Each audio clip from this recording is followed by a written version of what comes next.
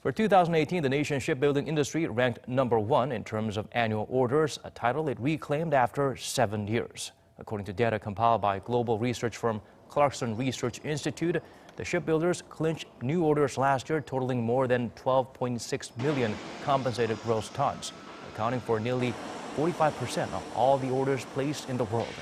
Increase in orders for LNG carriers played a big role in helping Korea retake the top spot from China.